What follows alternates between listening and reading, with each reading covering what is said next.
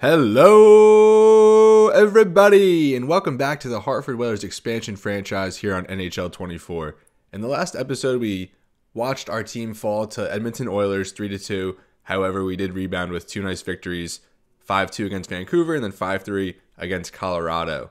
We sit here at 12 7 and 4 as we're starting the month of December. And I don't really have much structure for this episode. We're not going to watch a full game, and I think we're just going to sim heavy here and just work our way through December, which will be 14 games. And then I think we'll pick it up next episode, January 1st, 2025, against the Los Angeles Kings. So we'll get right to it here. We have a back to back hosting St. Louis and then at Philly. And St. Louis, one of the worst teams here, coming in at 7 13 and 3. And we go up 1 0. Sammy Mocking, that's another one. I think he scored in our last game. So his first two goals now coming back to back games. Two more there in the second, one from Scheifele and one from Cody Ceci. And we stand strong there. We only allow 16 shots on goal compared to 36. So we're getting a ton of shots off in these games. As you see, Mangiapane, the first star, two assists, three hits. And Markstrom with a 16 save shutout is the second star. Sami Maki, the third star. And we'd love to see his, his goal scoring get going. I mean, didn't really have much expectation for that coming into this season, but if he could score even like five goals on the year, I'd kind of be satisfied with that. Now we keep Markstrom in for this road divisional game against Philly. 1 1 there. Morgan Frost and Ceci scores in back to back games. And you'll notice Luukkonen, our boy who we talked about now in a few episodes, is in goal here for the Flyers. We give up two there. Couturier nets one and we'll send this third period. We only get one, so we do fall three to two here to, against the Flyers. Scheifele scores in back-to-back games as well. Ruhwedel, first star, one goal, one assist, new acquisition there for Philly. I think they probably signed him over the offseason. So in the last episode, we saw we played the defending Stanley Cup champs. Now we're about to play the defending Eastern Conference champs, Boston Bruins, who have gotten off to an awful start here at 10, 12, and 4. So we'll send this one. Colorado, another team who has had a very disappointing season. Hartford jumps up two to one. We finally we've only had three power play goals so far in the season. Mangiapane gets our fourth. There, we do give up a power play goal to Pavel Zacha, but Jake Evans puts us ahead late in the period, two to one. And we get two more there, both from Filip Zadina, as we head into the third period, up four to one against Boston. And we hang strong there. Charlie Coyle gets one for the Bruins, but JT Compher that's an empty netter, and ball, or, uh, Hartford wins here five to two. Three points there from Zadina, and I've really been considering playing him on the second line.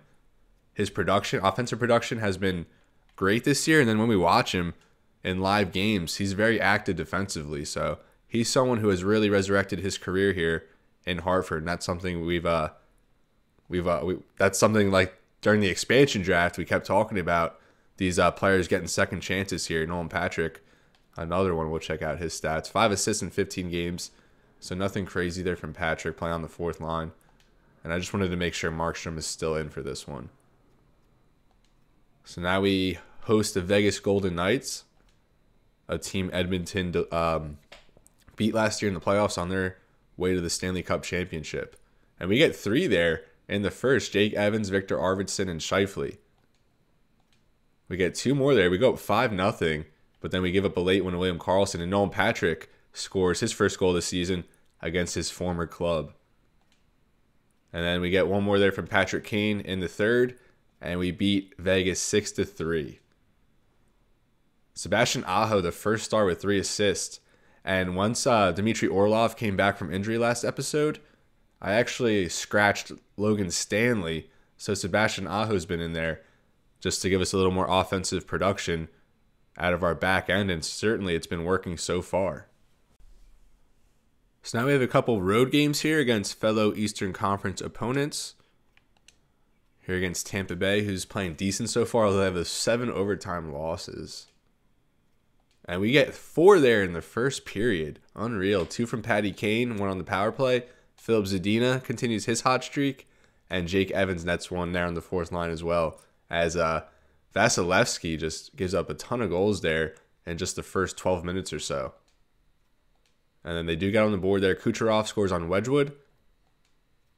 And then we get one more there from Nolan Patrick, who I think now has scored in two straight games or two out of three. And I guess uh, Scott Wedgwood was thrown in there. I thought I had Markstrom still in, but oh, I guess so. Markstrom got hurt, and my he's going to be out till February 12th. So Markstrom's about to miss two months. So that's just brutal. Obviously, we traded for Markstrom in the offseason. So now we're going to have to call Daniil Tarasov back up.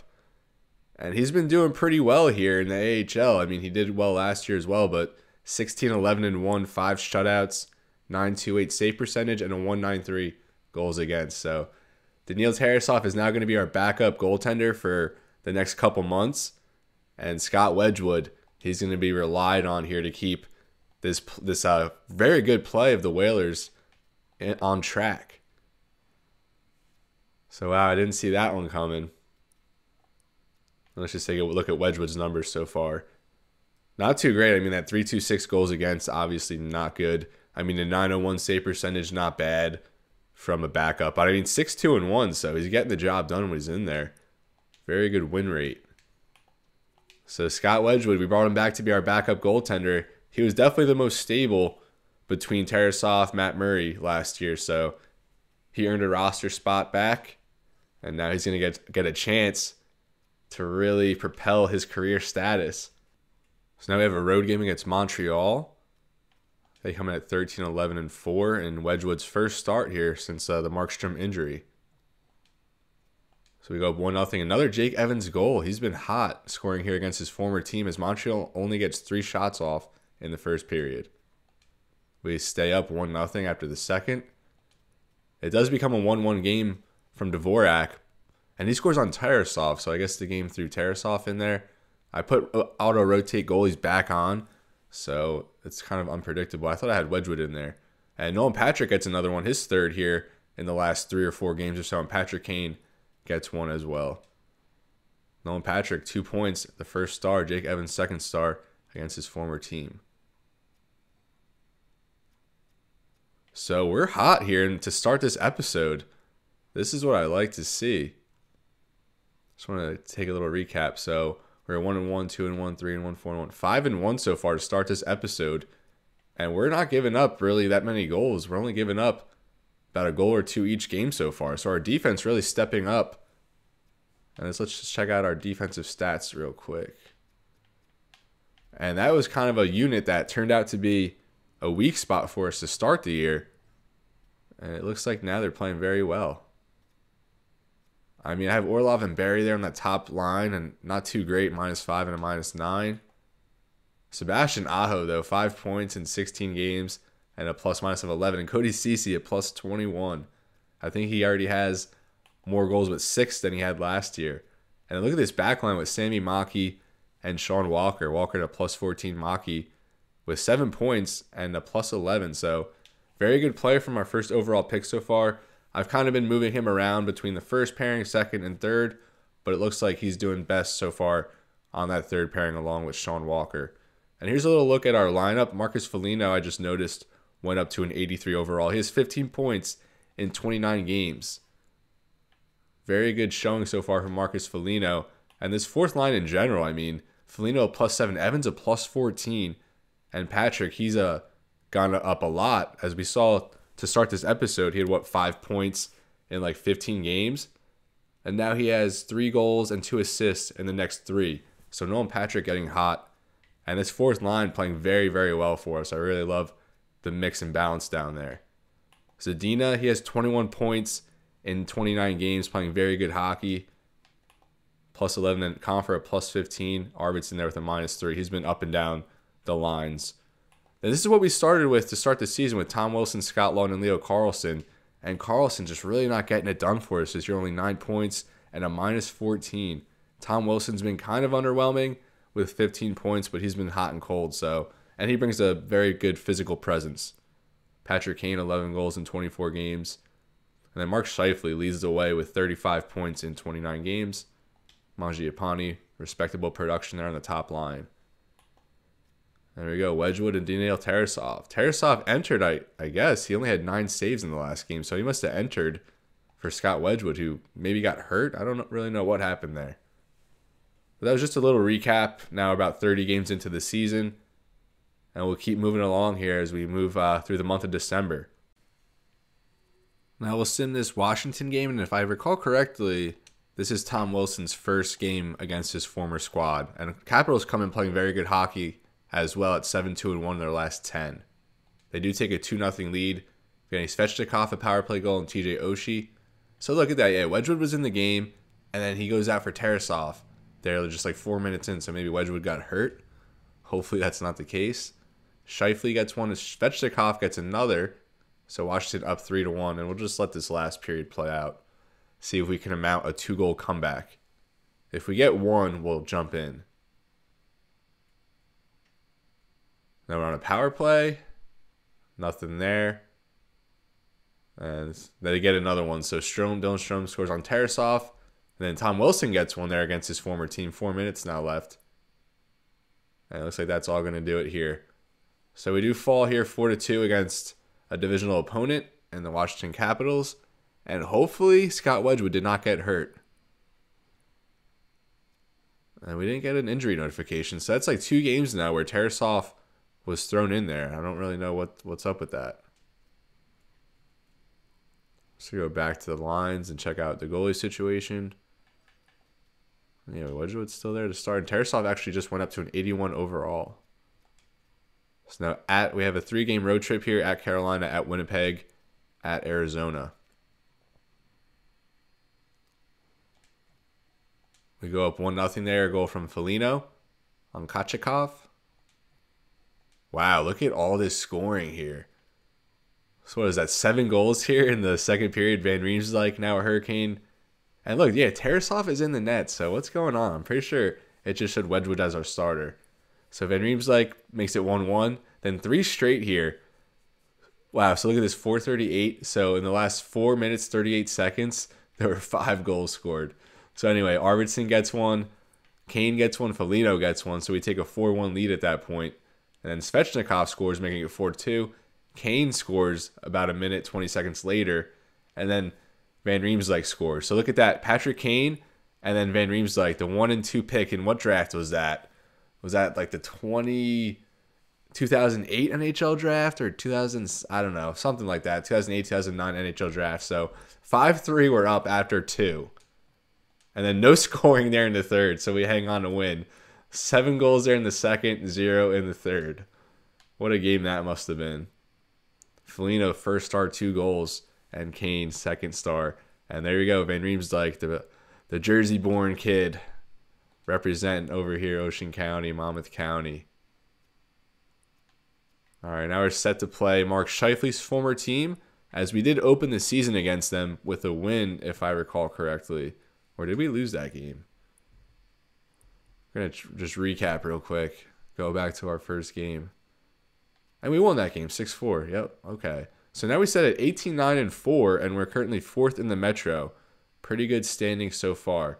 And just like, let's just, again, look at this goalie situation because I turned auto rotate goalies back on, but it's just doing crazy stuff now. So Wedgwood's still there as a starter.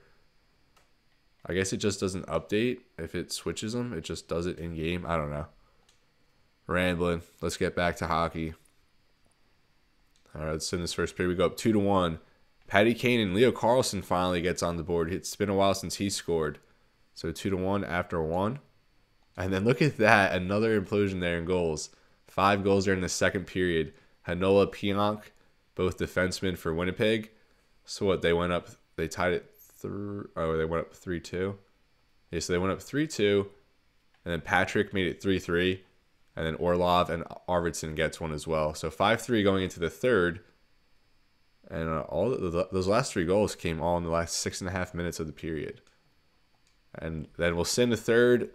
Nate Schmidt gets one, but we hang on there to beat Winnipeg, who had 44 shots on goal. My goodness, and Arvidsson there, the first star. So not not a glam glamorized win there, but a win nonetheless. As we continue to roll on here in this episode. Get that trade offer out of here, Montreal. We're not trading Mangiapane.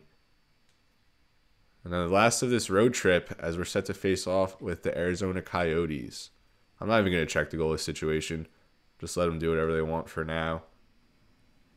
Definitely will monitor it more though if when uh once Markstrom returns. No scoring there after the first.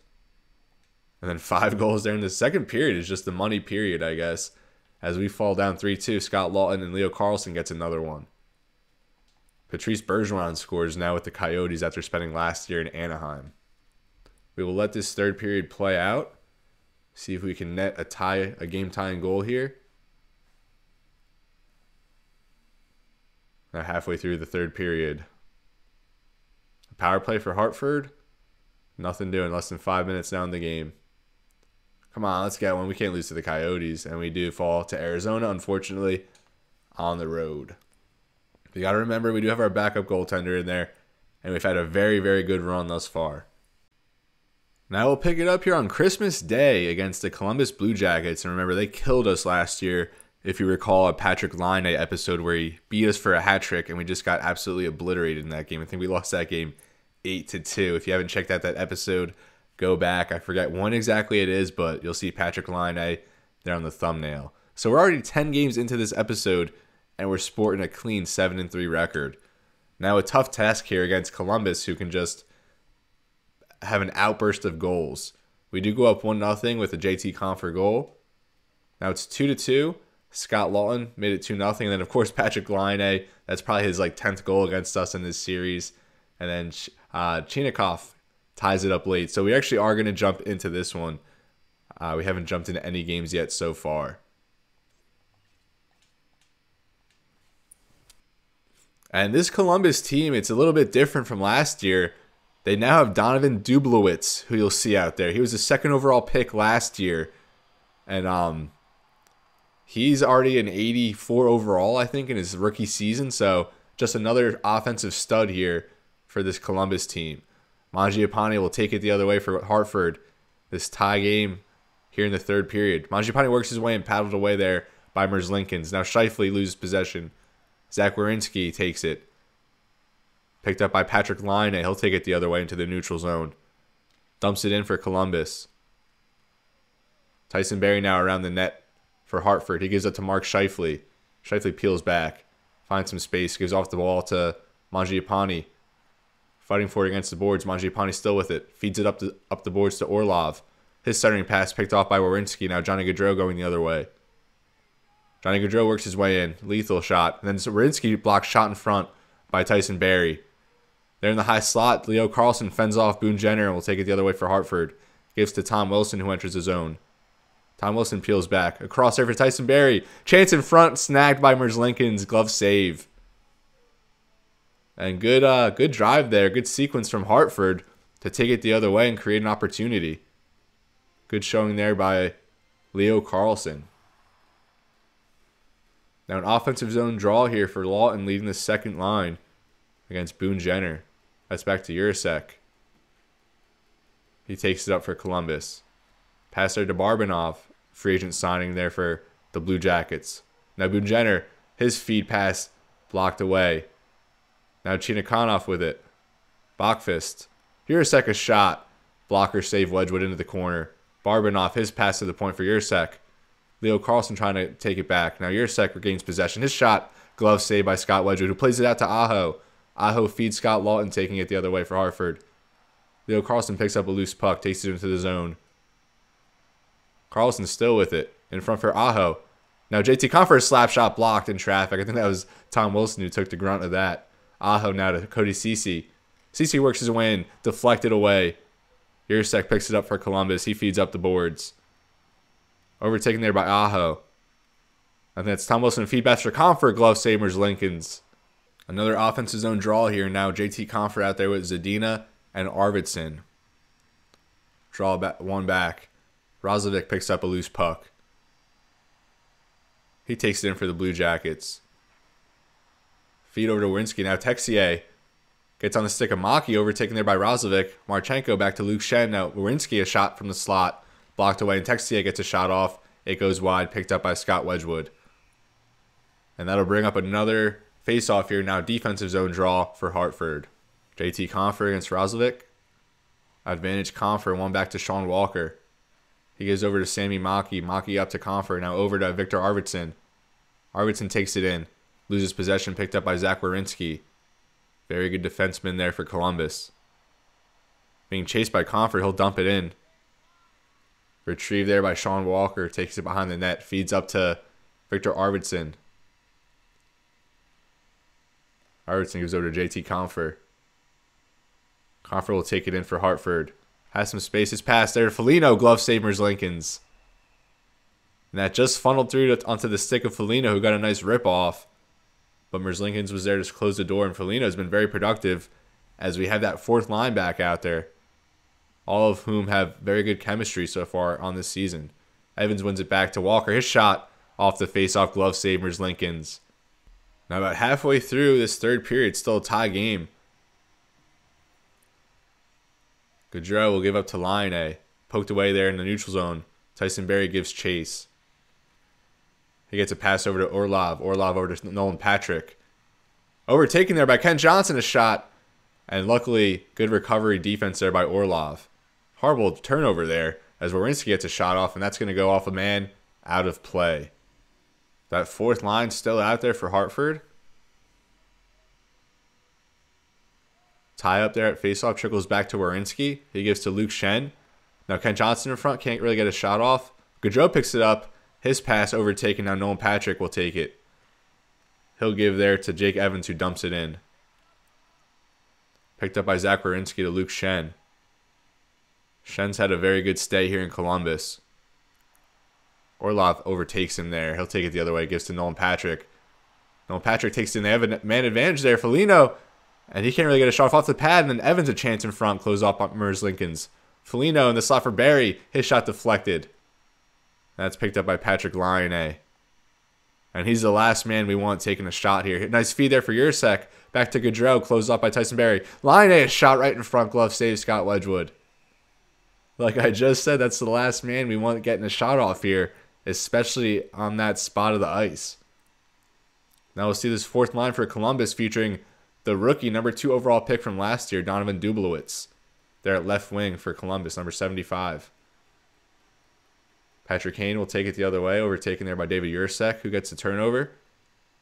Peels around. Picked off there by Scheifele, who gives to Mangiapane as he takes it in for Hartford. Mangiapane, pass behind the net for Patrick Kane. He can't take control of it. Now Severson picks it up for the Blue Jackets. He gets to Curley there. Now back to Bemstrom. His shot glove saves Scott Wedgwood. And a nice chance in the slot there from Bemstrom. And Wedgwood was there to glove it and close the door. This top line still out there for Hartford. We'd like to see them get something going. As Aho picks it up off the draw, gives to Patrick Kane. Kane dumps it in as he was closed off there. Picked up by Jiricek. His pass intercepted there by Patrick Kane. Patrick Kane in front pad save, Merzlikins. Picked up along the boards by Aho. Now Patrick Kane back to Carlsson now. Aho will take it in. He loses possession to Dublowitz. And Dublowitz gets it out of harm's way to Severson, now to Bemstrom in the neutral zone. Skates away from man, gives to Curley. Curley, his pass there deflected by Aho, still fighting for it in the corner. Curley gets it back. His pass not cleanly received, and it deflects to Tom Wilson on a breakaway. Tom Wilson on a break, and he doesn't really get a good chance off there. Merzlikins plays it well. Loose puck still. And now Columbus will take it. Now Scott Laughton takes it at the blue at the point. Back with it in the slot. His shot saved Merzlikins. Barabanov with it against the boards, held up by Tom Wilson. Loose puck to Tom Wilson. And he's overtaken there by Luke Schenn, who gives to Curley. Chinakhov for Columbus. Poked away by Cody Ceci into the corner, still with it. He gives there to Boone Jenner in front. He can't receive it cleanly. Poked away. Now Chinakhov back with it behind the net for Jenner. Jenner back to Barabanov. Werenski to Chinakhov. Back to Werenski at the point. His shot blocked. Nice block there from Filip Zadina. And Zadina has been tremendous this year. Arvidsson there to give chase in front of the net. Hook up to Zadina. Shot pad save. Rebound over in the boards. Arvidsson will give there to Barrie. Barrie now to Compher his shot. Easy save there by Merzlikins. And a great opportunity there created by the defensive play of Filip Zadina. Tom Wilson now records his 75th hit of the season. And he had a nice chance there on that breakaway. He hasn't really had a moment here yet in Hartford. And that certainly would have been one as Barrie gets a shot off deflected away into the corner. Yersek, loose puck for Arvidsson in front. A quick chance, pad save. Compher in front to Zadina. Rebound in front. Loose puck, Compher. And it looks like Hartford can't get a shot off as they had a couple chances there as time was expiring. But luck, luckily for Columbus, there's going to be post regulation play here. As hopefully we can finally pull out an overtime victory here on the season.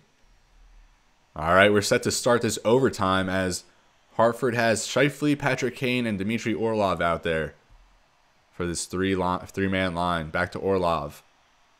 Gives to Scheifele, and they'll have a chance here. Scheifele, oh, and he tried to get Patrick Kane there, but he couldn't get the pass. Now up the boards, picked up by Kane. Gives to Scheifele, goes over to the corner. Scheifele now held up against the boards. He kicks her out behind the net, picked up by Johnny Gaudreau, gives up to Boqvist. Now Kent Johnson takes the loose puck the other way. Columbus has numbers. Kent Johnson a shot, rebound, and he just goes on the side of the net. He had the open net, but his shot goes to the side of the net. He didn't have the angles, and then Dmitry Orlov will take it the other way for Hartford. There's Patrick Kane, his chance. Save Lincolns. And Patty Kane could have put the game away. As well as Kent Johnson on the other side. He had an even better chance. Still these top three man pairings out there for each team. Scheifele and Kent Johnson on the draw. And Johnson wins that back to Boqvist.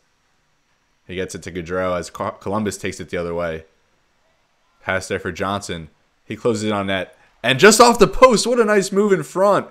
But his shot goes off the post, and Wedgwood will save it. And also, what was Dmitry Orlov doing there? I don't know if anyone caught that. Maybe rewinded a couple seconds, but he just totally skated away from everybody into the corner. Just totally let Johnson skate in there. As now we have Tom Wilson, Scott Laughton out there. And Dmitry Orlov is still out there. Why? I thought Tyson Barrie was supposed to be out there here with uh, Laughton and Wilson. As a nice chance there for Jenner he uh, on uh, Wedgwood, who saves it. Yeah, I don't know why they're not putting Tyson Barrie out there with Wilson and Laughton. I thought the three man lines were all the same, but I guess the defensive the defenseman is still different. That just goes separately, unfortunately. As Tom Wilson will take it the other way. And he just loses it there to Zach. Now Boone Jenner gets Patrik Laine, and who else with the game on his stick? Patrik Laine, backhand rebound, he scores on his own rebound. My goodness. Our three man lines just do not know how to play hockey. We cannot win in overtime. Painful just to watch that. And Orlov, what were you doing?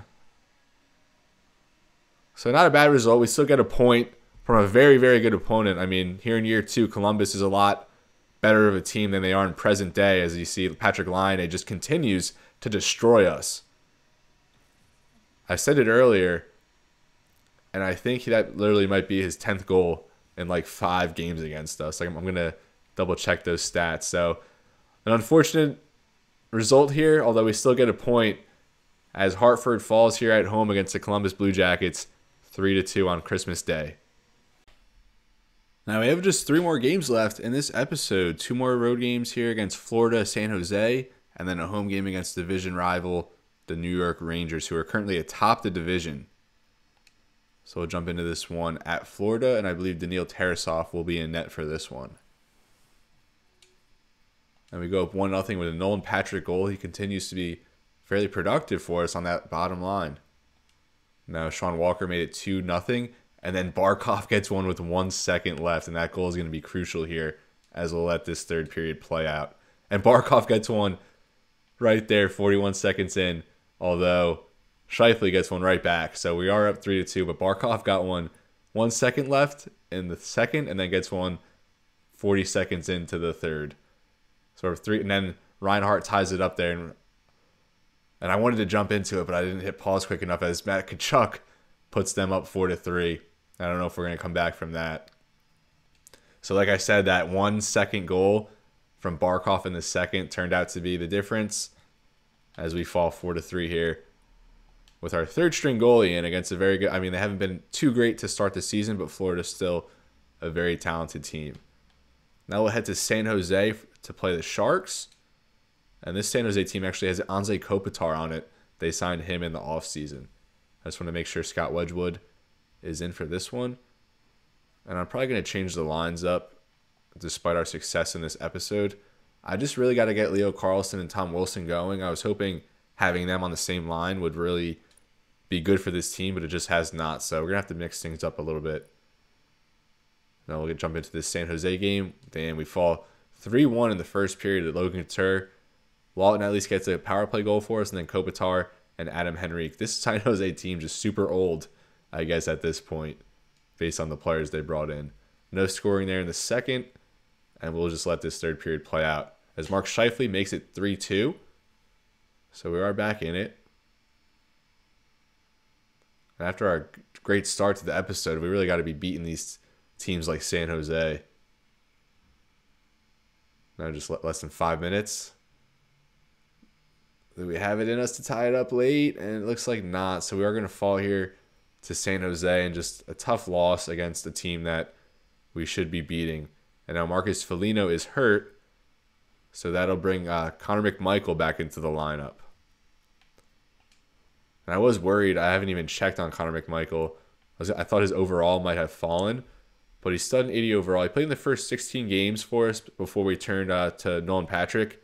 Four points, only a minus one, but he's going to get more run here with injury to Nolan uh, to Marcus Foligno. And what 14 points for 25 games.